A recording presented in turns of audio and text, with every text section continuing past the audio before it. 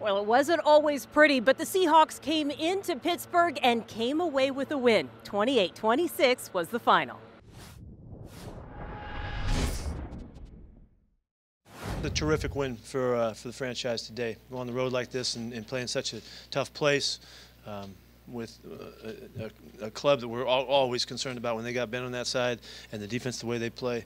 Um, it just challenges you, and the fans were there and all that. Our guys hung in there, and that was really important that we make this trip in particular because we got some more coming up and show our guys that we know how to do it and we can we can go cross country and, and play in the morning and and, uh, and play good football. They did a fantastic job, and the coaches did a fantastic job to contribute to what it takes energetically to be right about uh, for game time. So uh, that was a, a huge accomplishment for us. After leaving last week's game early, Will Dissly came up with a couple of huge touchdowns today, helping to prove that he is all the way back from last year's injury.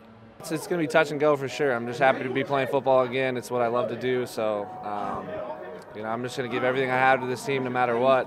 Um, you know, this one feels really good. Uh, it's really, really special to be back there, um, getting the end zone one more time, and um, just grateful. And hopefully, it's not the last one. Will looked good on a couple other plays too. It wasn't just the touchdown plays. Yeah, Will's come a long ways back. He had a, a, a terrible injury.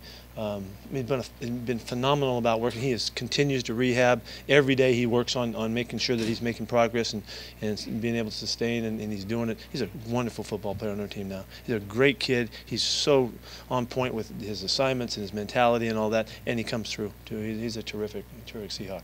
Defensively, Branden Jackson playing in front of his family and friends, and he shows out, sacking Ben Roethlisberger on the first drive, coming up with a quarterback hit late in the game. We wanted to make it a point of stopping them on third down, and I wanted to shout out Jadeveon for getting me that sack. He kind of held on to Ben a little bit. I got to sneak around there and steal it off him. Both Chris Carson and Rashaad Penny get going on the ground today, and it is Penny who finds the end zone with a little help from lead blocker Russell Wilson. I'm not gonna lie. When we, we went back and watched it on the sideline the first time, I kind of missed that first cut, the same exact, and then I knew this moment because I knew how this guy was playing it. So I mean, I knew he over pursued. The linebackers over pursued, and you know, it's just all about making a play. And um, you know, shout out to Russ for the block. Well, the talk coming in was all about Ben Roethlisberger and this Pittsburgh offense, but Big Ben leaves the game just before halftime and doesn't return after suffering an elbow injury we were surprised to see him leave. You know, you always see him get nicked up. He might leave a play or two, but he's always a guy who stays in there and finishes games. So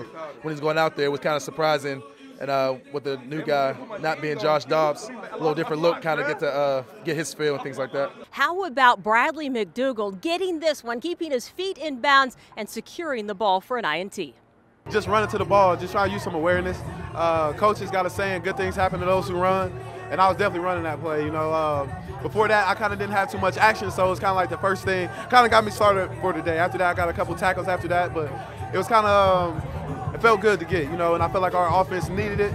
Uh, especially at that point, they were able to go down and get a touchdown score off of it, and gave our team some momentum that we that we very needed. As for Chris Carson, you will never question his effort, but that effort leads to a couple of costly fumbles today.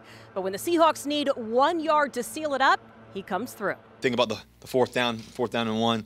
Uh, for us, Coach Carroll wanted to go for it. We, we, we, all wanted to go for it, and sure enough, we did. Uh, and Chris Carson, uh, you know, just hitting hitting the hole and getting that first down. The offense line did great there. So um, it was a tremendous game, a tremendous effort. Uh, we needed everybody. Um, we came in focused. We came in ready to play. I thought we played sharp, and uh, it's exciting to see. The celebration, well, it means a number of things. Not only do the Seahawks improve to 2 0, but Pete Carroll earns his 100th win as a coach, and it comes on his 68th birthday. Happy birthday, coach. To be at 100 in, in year 10, and we got a lot more games to get this year. You know, it's it's a uh, it's a really it's a it's a proud statement to make. You know that we're able to do that here, and, and I love so much that we're doing it for the people and the fans that love us so much, and um, I'm thrilled about it. Things everything. You know, the birthday, uh, 100th win who he is as a coach, his energy. Uh, you know, we just wanted to, to show him that we was thinking about him and we understand how much work he put in to, to help us uh, kind of get where we want to be. And, you know, if you watch him and see he's 68 years old, he does not look it one bit, does not move around like that one bit. Uh, he actually kind of hit me on the sideline a little bit, kind of felt a little power. So, um, you know, he doesn't, uh, doesn't act 68.